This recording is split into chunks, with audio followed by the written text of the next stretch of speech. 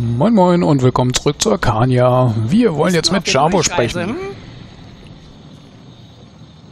Schon wieder so einer. Wo soll ich nur hin? Schon wieder so einer? Wer war denn vor mir da? Zuerst sind die Flüchtlinge aus Setari vorbeigekommen und wollten mein Gold klauen. Ha, denen habe ich's aber gezeigt. Hab sie davongejagt. Ja, das habe ich. Kaum war ich mit denen fertig, ist schon der Nächste vor der Tür gestanden. Mit dem war aber nicht zu spaßen. Wer? Wie sah er aus? Dreckige Stiefel hatte er, ist einfach in meine Hütte und hat sich genommen, was er wollte. Für einen Kerl mit nur einem Auge konnte er ganz schön böse gucken. Er hat eine Augenklappe? Ja, ja, das hatte er. Hm. Der Mann mit der Augenklappe. Wo ist er hin? Der hat dumm geflucht, als ich ihm erzählt habe, dass es hier nicht weiter nach Norden geht. Wo ist er hin? Wieder nach Süden, die Bergflanke entlang. Wollte durch die Ruinen. Der ist jetzt tot. Wilde Bestien gibt's da drin. Ich befürchte nicht. Hier, ein Paket mit Gemüsesamen. Oh, gut, gut, gut, gut, gut. Ich hab Gold. Aber du musst warten, warten. Warten? Worauf? Ich schluck's immer runter wegen der Flüchtlinge. Es dauert nicht mehr lange. Dann hast du dein Gold. Nein, nein. Behalt's. Ah. Oh, bist du ein Wohltäter, wie? Für die habe ich was ganz Besonderes. Hier. Danke. Wo hast du das hier aufbewahrt? In. Äh, halt, ich will's doch nicht wissen. Wie du willst, wie du willst.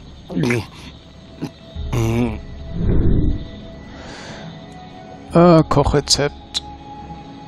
Naja, immerhin. Und Erfahrung. Was ist denn los? Ich habe mir letztens einen Wachhund zugelegt für mein Gemüse, aber der ist nicht brav. Nein, brav ist er nicht. Ein Wachhund? Hier?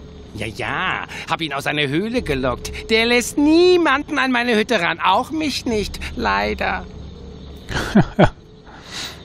Na schön. Schätze, ich kann den Hund für dich vertreiben. Ja, ich hole in der Zwischenzeit eine Belohnung. Wo ist denn dein Kräutergarten? Bei meiner Hütte, nicht weit im Nordwesten von hier. Bin gleich wieder da. Egal wie groß er auch sein mag, ein Hund ist für mich kein Problem. Hm, schauen wir mal, wie der Hund aussieht. Dann sprechen wir nochmal. Nordwesten. So, und zu den Ruinen müssen wir anscheinend so oder so. Das ist dann also gut, dass wir da dran vorbeigelaufen sind erstmal. Hier sind noch ein paar Pflänzchen.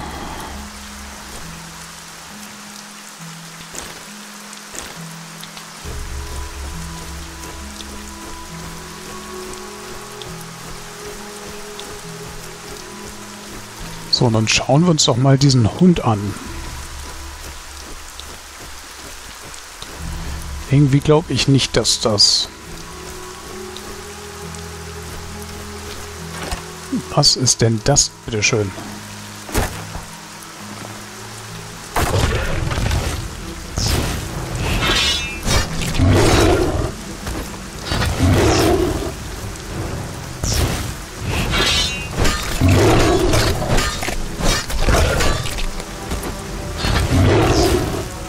Okay, das gilt als besonders harter Gegner. Der ist durch Todesblitz nicht zu killen. Ah, Schattenläufer. Verstehe.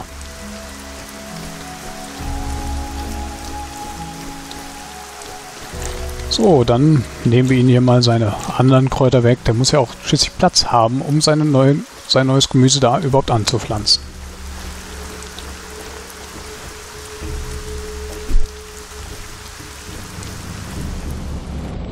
Was haben wir hier? Potenter Mana-Trank, danke. Schwarze Galle, Rezept. Ja, ne. Feuer direkt in der Hütte. Ich weiß ja nicht. Aber der wird schon wissen, was er macht.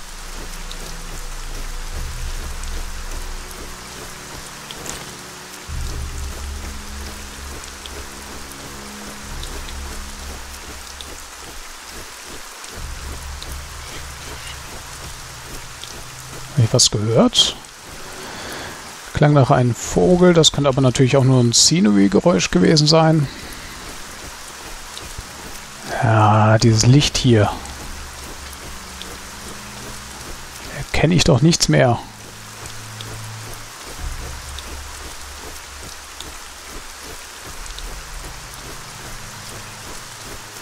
Naja. So, ich hoffe, er hat die Belohnung sauber gemacht. Es regnet jetzt ja zumindest. Bist du auf der Durchreise, hm? Und? Hast du den Hund verprügelt? Von wegen Hund. Das verdammte Biest war ein Schattenläufer. Heißen die so? Ich kann also zu meiner Hütte zurück? Das Vieh ist tot. Ein Wunder, dass es dich nicht gefressen hat. Oh, ich schmecke nicht. Mich hat so eine große Echse mal ausgespuckt. Das glaube ich dir glatt. Meine Belohnung? Ja, natürlich hier, hier. Ja, nochmal ein Rezept. Hast du noch Kräuter übrig? Ich gebe dir auch Gold. Gold? Na dann. So, das interessiert mich eigentlich weniger. Der hat auch eigentlich nichts, was mich irgendwie interessiert. Mm. Mm. Mm. Ja, wohl bekommt's.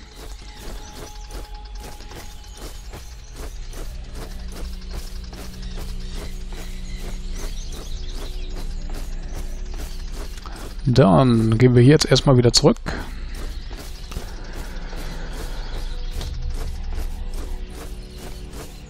Zu der Hauptlichtung. Schauen mal, wo da eigentlich der Bergpfad hochgehen würde. Wilder Scavenger.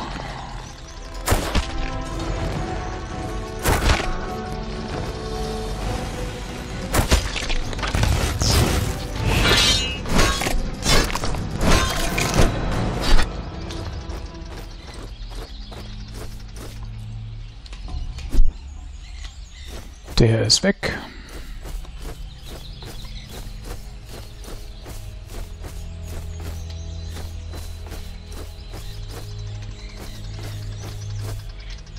Hier haben wir doch einen guten Überblick. Eigentlich wären nicht so viele Bäume im Weg.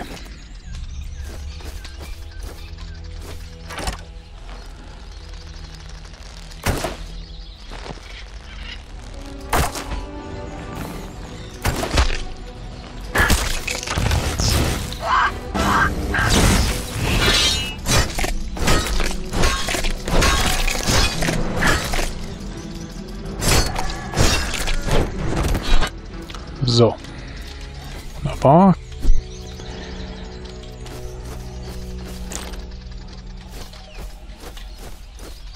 Irgendeiner, der ist noch ungelootet.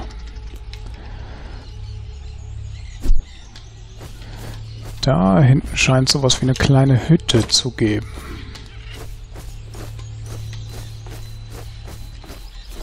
Zumindest irgendwie eine bauliche Maßnahme. Machen diese ganzen Flüchtlinge hier? Okay, der scheint freundlich zu sein.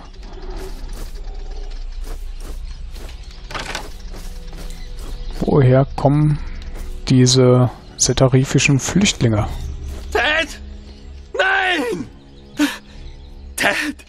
Du lebst! Du lebst! Ted? Ich bin... Tot! Die Bestie hat dich gefressen! Meine Schuld! Es ist meine Schuld! Mein Messer! In deinem Bein! Messer? Komm jetzt nicht auf dumme Gedanken. Du willst dich rächen, nicht wahr? Deshalb bist du aus Viljas Reich zurückgekehrt. Verstehst du nicht? Ich hatte keine Wahl. Du oder ich.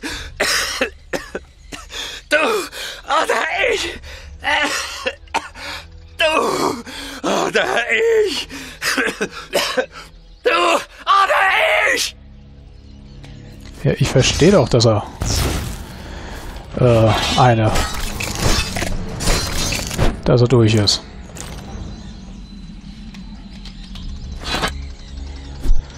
Amulett der Wildnis, naja.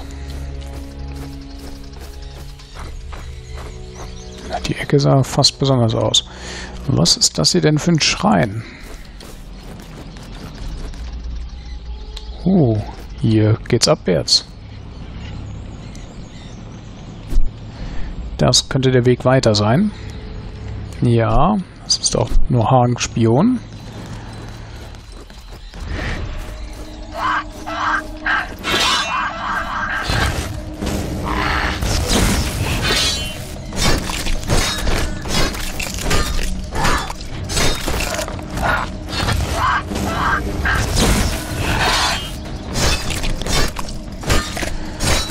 Heißt, wir konnten jetzt mal kurz hier noch die Lichtung zu Ende, bevor wir da wirklich reingehen.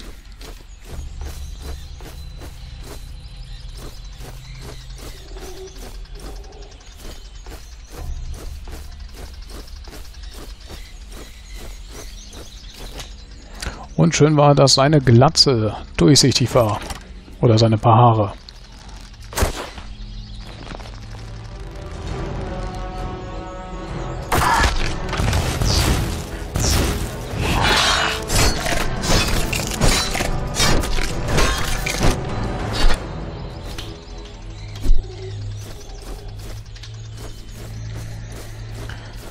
Gehen wir erstmal außen lang und dann nochmal ein bisschen durch die Mitte zurück.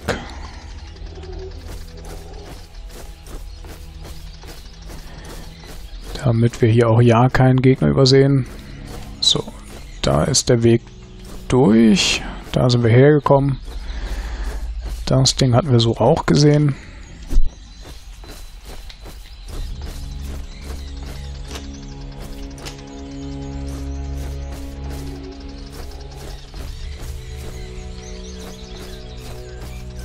Ja, und sogar ein vergessenes Grab noch mitbekommen. 20 Stück. Es sammelt sich. Ich frage mich, ob Zetarif jetzt belagert wird, dass es deswegen so viele Flüchtlinge gibt. Was haben wir da hinten?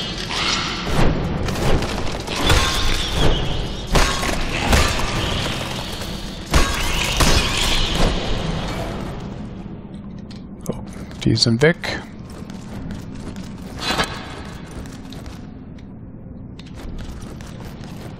Ist hier noch irgendwas anderes? Nö. Ein Polar.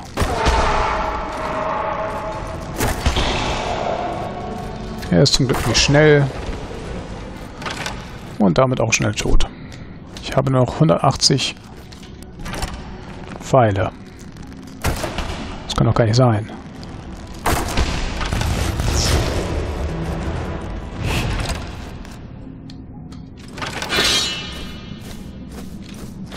Glaube, hier kommen gleich Krabbelfiecher nochmal raus. Ja.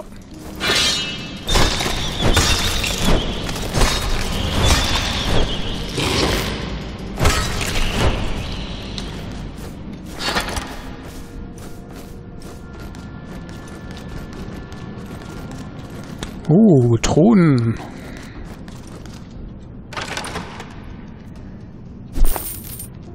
Nehmen wir mit, auch wenn da, glaube ich, nichts Besonderes bei war.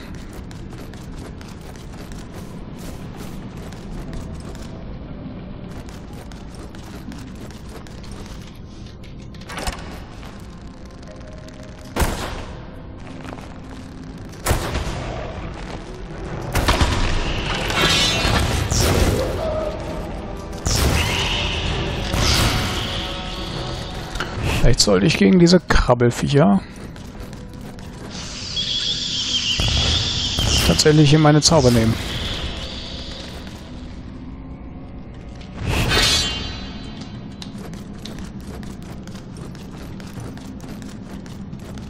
So, ist hier vielleicht was hinter. Zum Glück sind die Schwerter hier ziemlich gute Fackeln.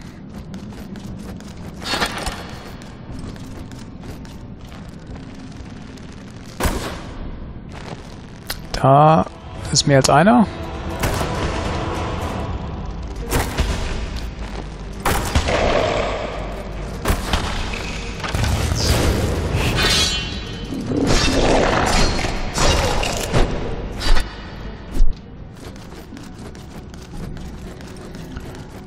So, was haben wir denn hier noch? Nichts.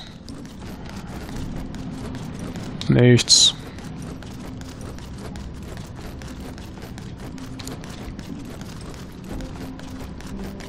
Könnte sich ja irgendwo mal eine tolle Statue verbergen.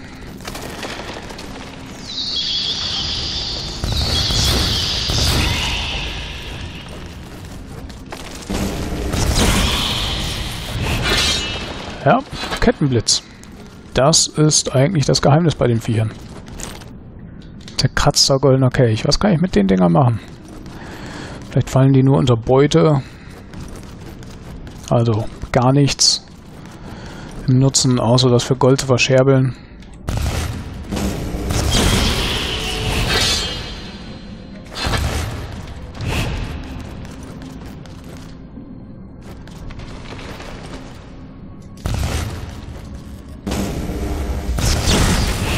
Uh, drei Stück.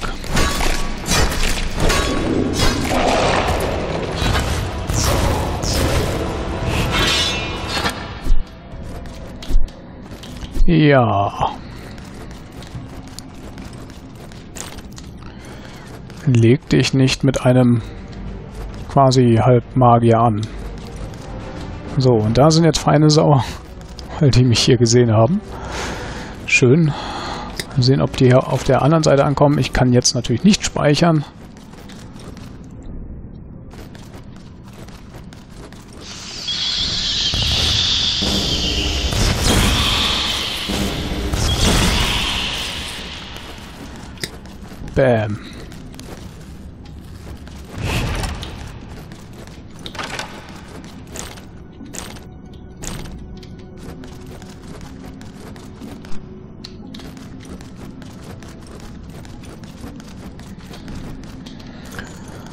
Sonst gibt es hier aber nichts.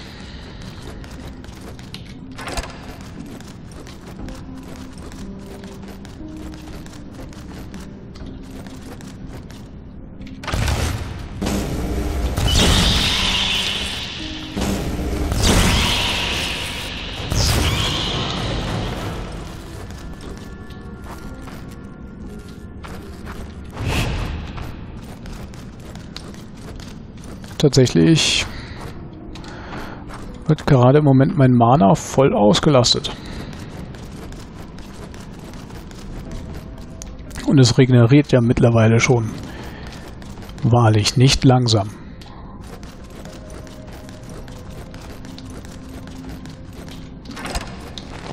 Oh, da sind ein paar mehr vorhanden.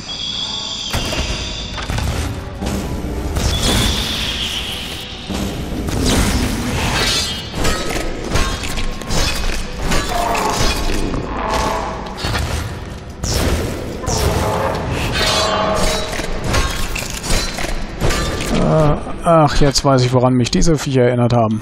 Es sind quasi umbenannte Lurker. Ich musste sie erstmal erkennen für das, was sie wirklich sind. Dickes Schwert. Naja, nehme ich mit.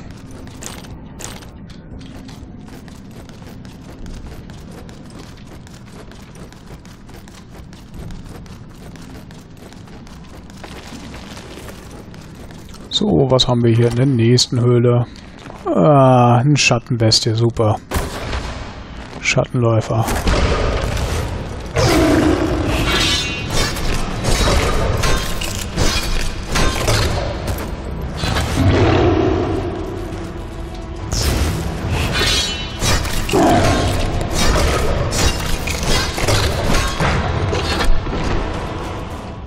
Nur einer?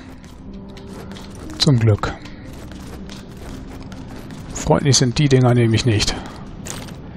Zerkratzter goldener Kelch. Tja, da frage ich mich, ob man damit vielleicht doch nochmal irgendwas anstellen kann.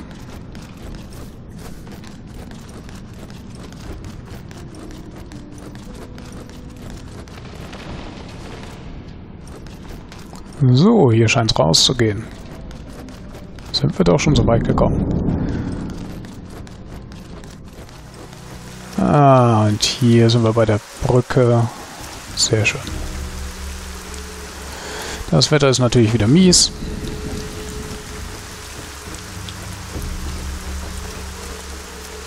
Der Tarif.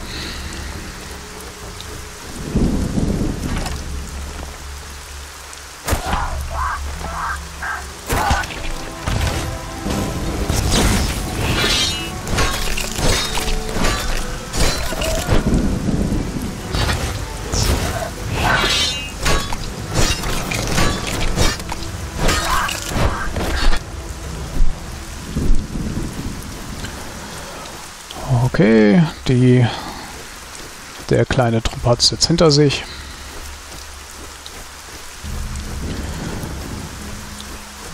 Man muss ja auch aufpassen, dass die Population nicht zu groß wird.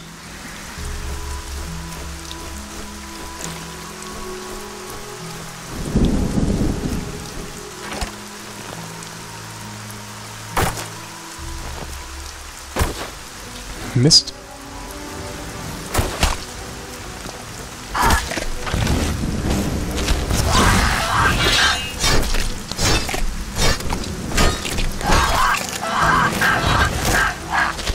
Au.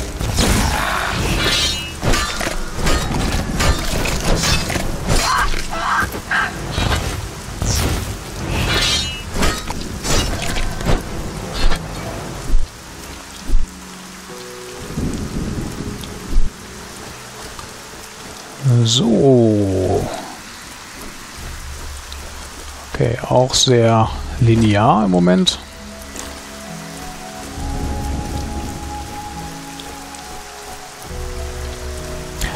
Recht erstaunlich, wenn man bedenkt, dass wir hier vorher da so frei erkundet hatten, da, das hier.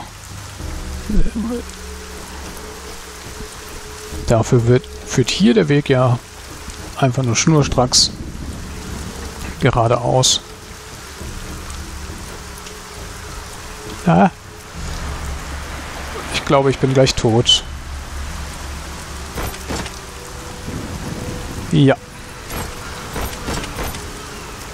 Ähm, ich konnte ihn nicht steuern. Ich bin da selbstständig nicht lang geschrabbelt.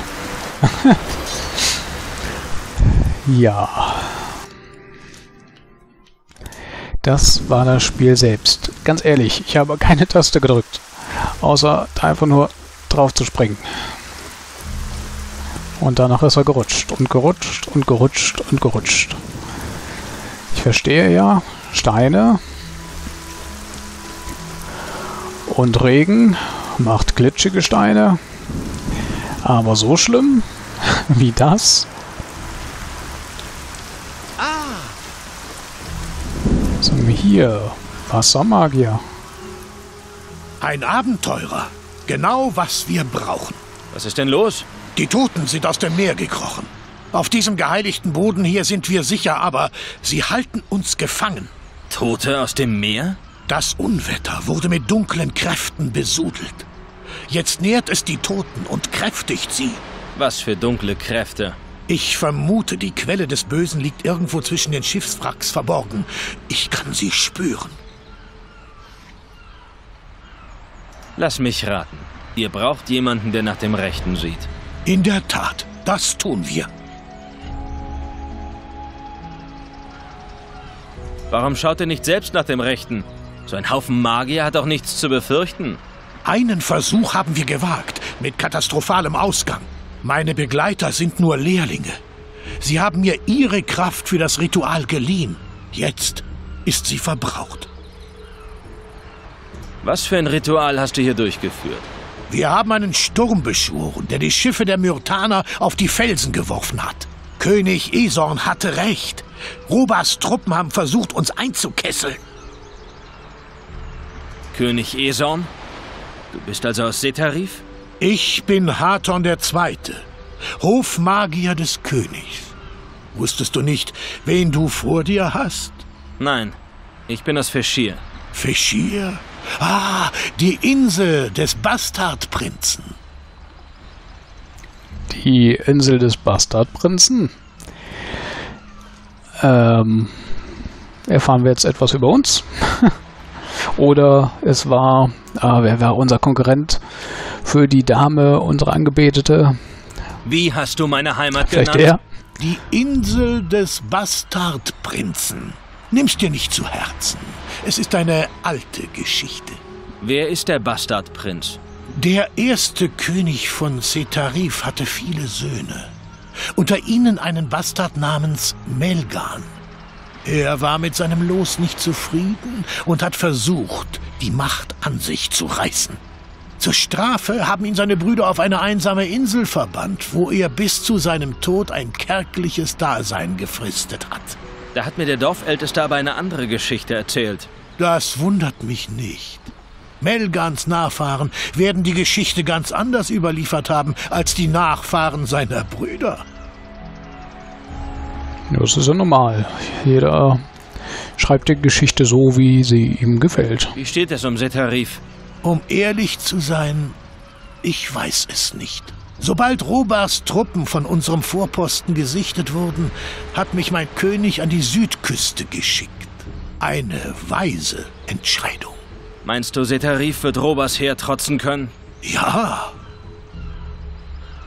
Sehr überzeugt. Moment. Du bist für das Unwetter verantwortlich? Also sind diese Untoten.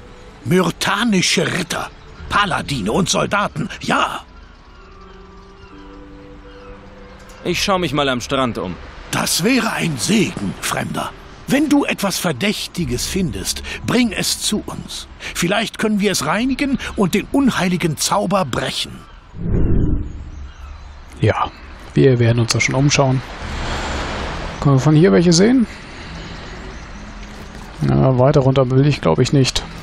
Sonst falle ich wieder und glitsche in die Unendlichkeit. Uns kurz mal um. Ha, sieht man nicht.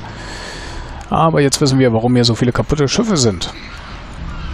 So, die die toten Paladine kümmern wir uns aber in der nächsten Folge. Bis denn, Leute. Ciao, ciao.